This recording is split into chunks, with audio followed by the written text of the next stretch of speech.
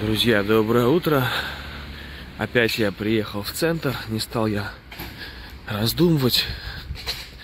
Здесь всегда можно найти что-то интересное. В общем, давайте просто пожелайте мне удачи, а я пошел искать.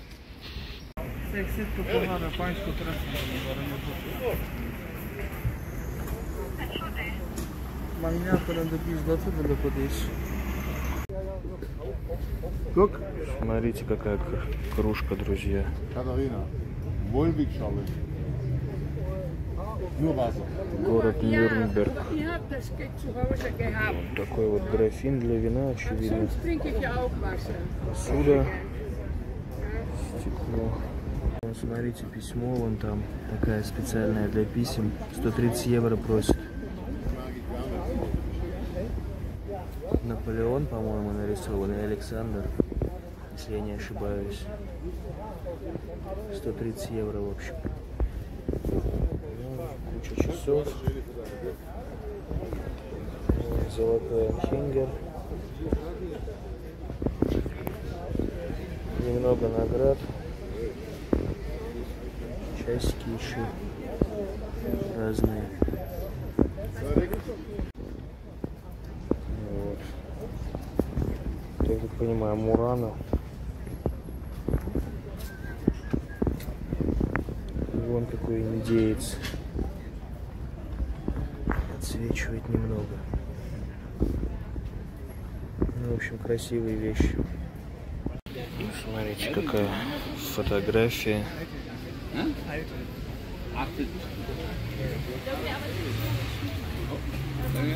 По-моему, какие-то они моряк, речной флот, что ли. Куча бумажной продукции. Кстати, можно кучу пластинок купить, но я вообще в это не влажу, ребят.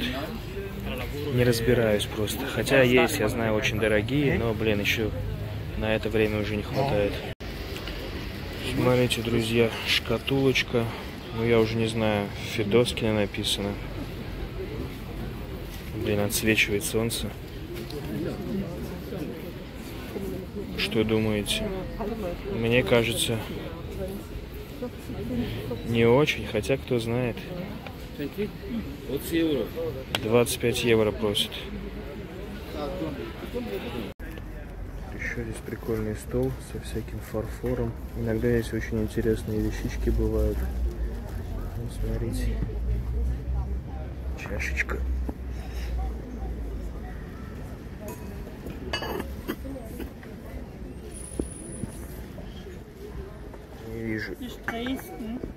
Дрезден.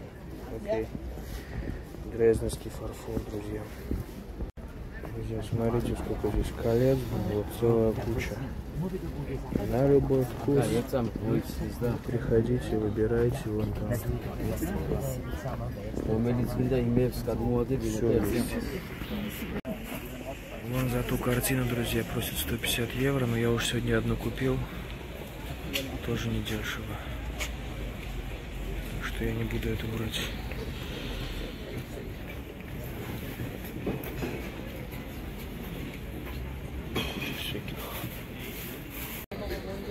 Серебро.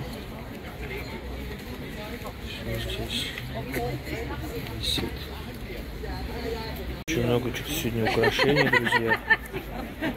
Вообще много.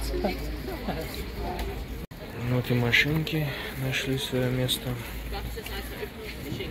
Игрушки, модельки всякие. Лего. Даже не спрашивай, сколько стоит. Was kostet der? 45. Красивый стул. Danke. Прикольные вещи, да? Еще одни шкатулки. Все идет. Куча всякого стекла. Красивого. Прикольный наборчик, да? Коньячок пить. Ja, zwei Stück. Nein, nur zwei Stück.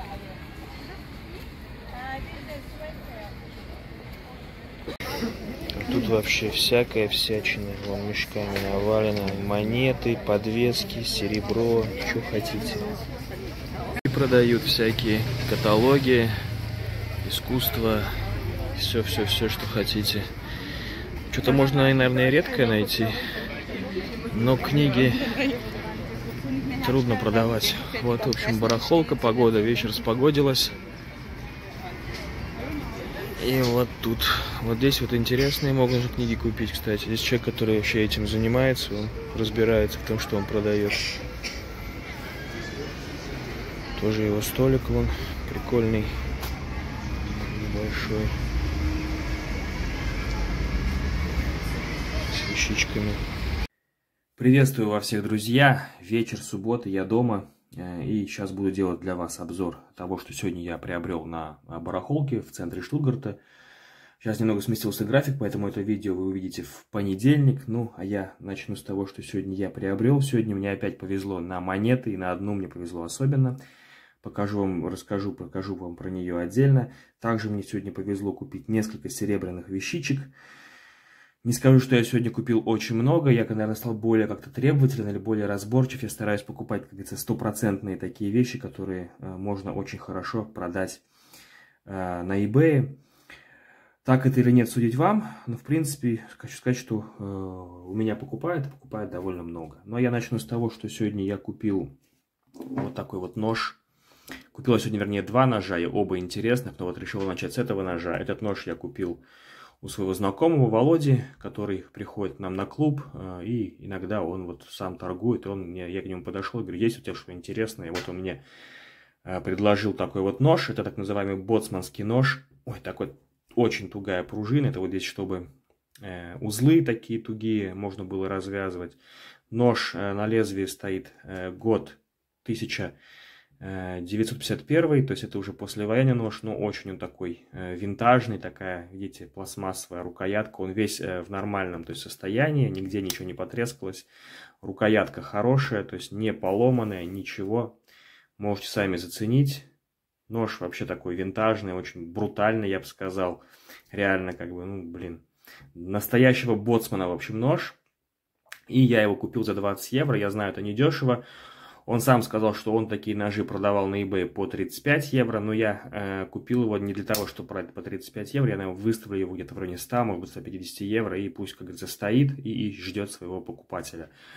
А, вот, потому что, в принципе, мне вещь нравится, и я, как говорится, если я ее продам, то цена должна быть такая, чтобы это меня, как говорится, удовлетворило. Вот. И купил я сегодня еще один нож, он тоже очень интересный, это такой перочинный карманный ножик, лежал на видном месте, передо мной у этого человека просто перерыли все, э, целая куча перекупов там, которые у него просто в коробках рылись, а это то, что вот после них осталось, это он просто выложил на стол.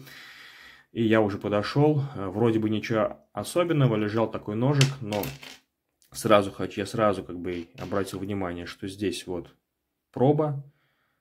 Надеюсь, вам видно. Сейчас я приближу. Вот видите, 800 то есть это говорит о том, что э, сам нож серебряный, да. И потом я, когда он спросил, он сказал, почем? Говорит, 10 евро и забирай. Я, конечно, посмотрел, говорю, предложил ему 8 евро, он согласился, была такая вот цепочка. Э, цепочка сначала я думал, что она не серебряная, но потом после э, изучения внимательного под лупой я нашел здесь тоже пробу. И проба, надеюсь, вам видно, вон там в сильную лупу я увидел, что это проба 800. То есть вот такой вот винтажный серебряный нож. Вот я, честно говоря, не знаю, э, серебряное ли лезвие, но судя вот по такой вот патине, что ну, очень даже возможно, что лезвие тоже серебряное, но на ней никаких нету клейм, поэтому тут я могу только гадать. Но э, сама вот, э, сами эти вот щечки ножа и цепочка, они 100% серебряные. Это нож э, такой, как говорится, винтажный, античный. То есть, я так понимаю, нож э, для фруктов, э, цепочка, я так понимаю, даже, может быть, ну, я не знаю, откуда она, может, была она в паре, так вот носили. Но классная вещь. 8 евро я за нее заплатил, я думаю, человек просто не знал, что она из серебра. И продал ее э, как обычный ножик. Ну, вот я считаю, что повезло. Сколько такой нож стоит, я, честно не знаю. Ну, минимум где-то 80-90, а может быть даже и дороже евро. Здесь нету никакого, ну, нет клейма производителя, что, конечно, не очень хорошо. Но все равно нож серебряный. С цепочкой такой интересной. Я думаю, вещица очень хорошая. Я купил ее за 10 евро. На этом я с ножами заканчиваю. Э, давайте продолжим дальше. Также я купил вот такую вот интересную брошь. Я ее увидел, меня сначала привлек цвет, спросил почем. Человек взял лупу, долго рассматривал, сказал, что это не серебро. Я не знаю, почему он так принял, потому что есть вот проба, она довольно ну, такая четкая, видная, что там 800-я проба, по-моему, стоит. Ну, сказал, 12 евро, я сказал, за 10 ты отдашь? Он говорит, да, бери. И я нашел, такие брошки есть, они есть в золоте, есть в серебре, и они очень-очень недешевые. Ну, вот как-то такая, вот такая вот брошка попалась, э, серебряная. И вот, ребят, еще вот такая вот вещь, такой вот, такой вот пресс-папье. Видите, э, с таким вот э, верхом, навершием.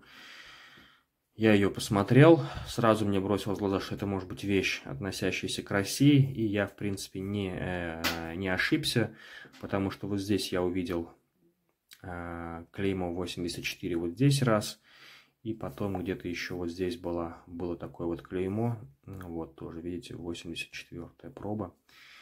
То есть вещь такая прикольная. То есть я ее крутил, вертел, но, к сожалению, продавец тоже знал, что эта вещь имеет отношение к России, то есть к царской России. И дешево он мне ее не продал. То есть мне она просто понравилась. Я посчитал, что такой узор очень красивый, такая отделка, видите, такое чернение. А, вот, это вы, к тому же, проба 84 что имеет отношение уже ну, до революционным временам. И он за нее просил э, 60 евро. Я ему предложил 40. Он сказал, я сам ее купил за 40. Я, конечно, не знаю, правда это или нет. Ну, поверим его на слово. В общем, отдал мне ее за 50 евро. Вот такой вот пресс-папье интересное. Э, сколько я, почем... Я нашел похожие в интернете. Там просили, просили 200-250 евро. Ну, не знаю, посмотрим. А, я ее уже отфотографировал. А, когда буду выставлять, еще буду решать. Но вот такая вот вещь мне попалась интересная, довольно интересная. Вот сегодня на барахолке. Как бы такая вот. То есть сегодня довольно много было серебра. Э, потом, вот помните, э, недавно я купил несколько таких дизайнерских украшений. А, по-моему, Михаила Фрей была ее дизайнер такой довольно известный. Как я понял, то, что он известный. То есть, ну вот, и там были серьги, и было два кулона. А серьги у меня уже купили. Сейчас я вам покажу, почему их у меня купили. Ну, вы сами все увидели, купили больше, чем за 100 евро. И тут я э, прихожу, и у одного вот такой вот кулон висит. Э, такой вот интересный. Э, переворачиваю, написано тоже Михаила Фрей, э, новый, э, с цепочкой. Цепочка серебряная.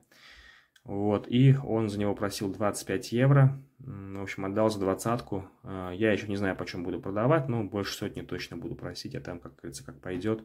Ну, просто такая вот еще э, покупка, я считаю, повезло, потому что на нем точно можно заработать.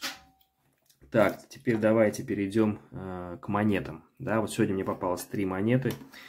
Причем две монеты, а именно серебряные, я купил у одного продавца. Там есть такой дедушка, я у него не раз уже покупал монеты. И в этот раз я видел, что у него ну, несколько новых монет появилось.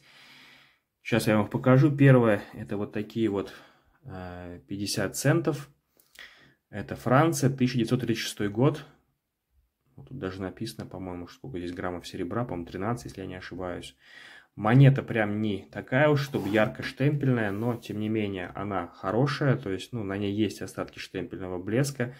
Она, скорее всего, не чищенная, то есть просто она походила, да, ну какой-то степени, в мере она походила, но тем не менее, вот видите, остатки штемпельного блеска присутствуют.